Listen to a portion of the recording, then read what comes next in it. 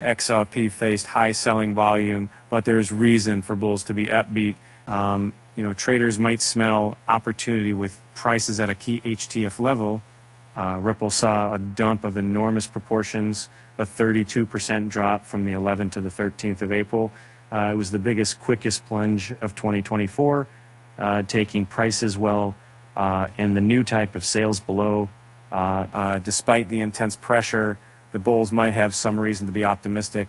Swing traders and investors should note that XRP was trading just above a higher time frame support level at 46 cents. Could this see resilient XRP bulls, even if Bitcoin decides to happen, to drop once more later this month? XRP saw its market structure flip bearishly and prices drop below the 525 mark. The selling pressure forced it below the swing low at 48.5 as well. Uh, there's good news for the buyers uh, amidst all this chaos.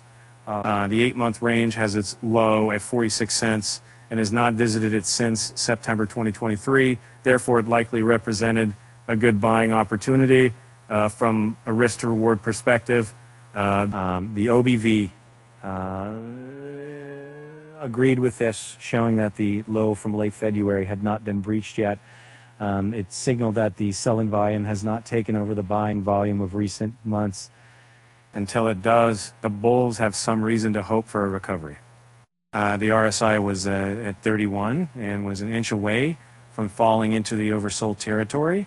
Uh, it does not signal an imminent reversal, but underlined extreme selling momentum in the wake of told us. Uh, data revealed that the bears were dominant in April. The open interest fell from $680 million on 12th April to $367 million at press time. Uh, funding rate had been negative in the past 24 hours, but was slowly climbing above zero. Meanwhile, the spot CVD has been in a downtrend over the past week, and the recent losses accelerated this trend. Uh, realistic or not, here's XRP's market cap in BTC's terms.